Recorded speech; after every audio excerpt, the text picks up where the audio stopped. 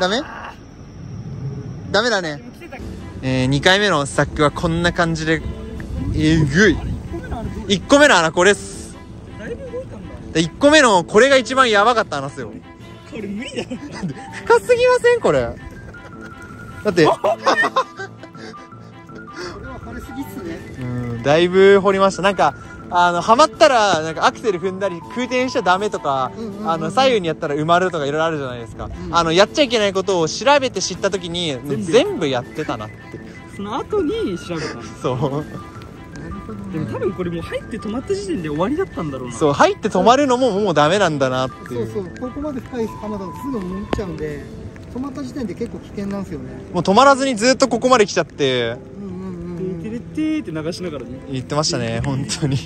めっちゃ楽しかったわ そう、あの、ハマるまでは本当に楽しくて、もう全然この車だったら余裕だと思ってたんで、まあ、その結果がこれですね。はい。こんな感じで、牽引のロープと、まあ車の下に、こう、牽引のフックがあるんで、そこにつないで、車を引っ張ってもらってます。これですね。タイヤにいろいろ種類があるんですか？ありますあります。オフロードタイヤでも MT って泥とかもうめちゃくちゃきついとこ走るやつと、AT ってちょっと硬い砂浜くらいなら何でもないよって種類あるんで。はいはい。それが AT 履いてるんだったらここでも結構いけたと思うんですよ。これは何タイヤなんですか？多分普通のロードタイヤあの舗装路走るためのタイヤっすね。タイヤからしてもうダメだった。そうっすね。なるほど。山が多分これだと噛んでくんないんで。うんうん全然もう滑って木の板とかタオルとかもうチェーンとかも何でもとにかく詰めてなんとか動かないかって2時間ぐらいやってもうダメだと思ってライブしつつジャクさん呼んだって感じですね。なるほどなるほどそうだったんですね。戻して。前出ます？これ。前ちょいしか出れない。ちょい出てで戻るはい戻って。はいいいっすよもうまだ行きますかね？あーまずいか。大丈夫かな？前前。ゆっくりでゆっくりゆっくり行きましょう。ゆっくり。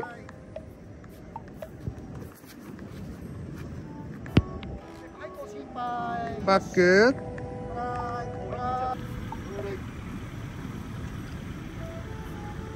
おいける？これでどうすんだ？バックした方がいいのかな。今度前輪がまたハマったんでこのアイボルトっていうものを人生で初めて知ったんですけどここが開くらしくて今度この前から牽引します。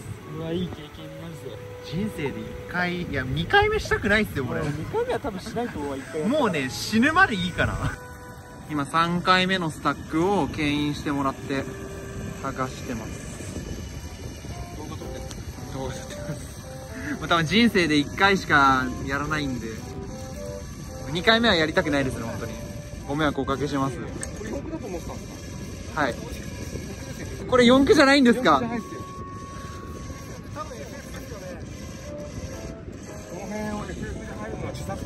うわ大崎さん俺らまずちょっと車勉強した方がいいですねこれ。今ねこうやって牽引されて動いてますかなり砂浜が柔らかいっぽいっすね。ここがスタックした方のタイヤです。もう半分埋まってるもん。さっきのやばいところを抜ければ全然いけたと思ったらもうそこから3回目ですね。だから本当に来ちゃいけない場所に来た。無知でここまで来れるのもすごいし本当に迷惑をかけてます。ここまで本当にノンストップでインディ・ジョーンズ感覚でルンルン来たらあそこで死にました。すいません本当に。本当にすいません。オッケーお動いた動いた。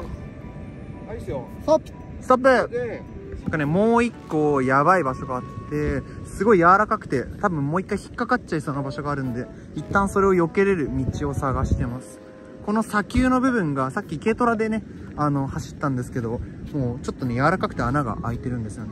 だからこっち側の硬い場所が走れるかを今試してます。これね引っ張ってもらった後なんですけどもうここもすごい大きい穴。ですね荒川がこう入ると2 3 0センチはありますね。いかにここが地獄の場所だったかわかります。でまたこの先に進んできます。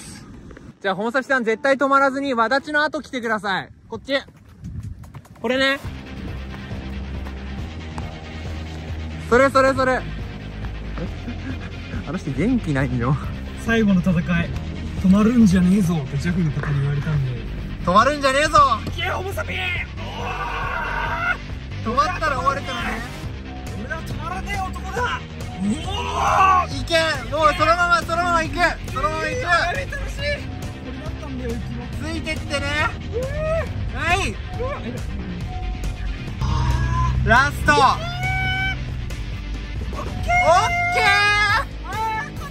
抜けたあーなんかねチェーン巻いたりとかいろいろ努力したんですけど結果的にはこれ見てみればわかるんですけど傷がやばいっす本当に。もうね荒川もそんなに車の知識全くほぼない素人と一緒だったんですけど四駆だと思ったのが間違いでしたね。はい。いや本当にまあなんかこういう風に木材とかを車の前輪に当てたりとか、ままあ、こういうロープとかをね使ってなんとかかんとか上がろうとしたりこういう風にタオルを使ったりとか、まあ、何でもかんでもあるもの海で拾ったものを持ってきたものを全部使って上がろうとしたけどもう結果的にはこれなんですよ。だから本当に JAF さんのありがたみと偉大さに身が染みてます。そして本当にあの夜中に来てくれた視聴者さんだったりいろいろ心配の声とか意見をくれた皆さん本当にありがとうございます。申し訳ないです。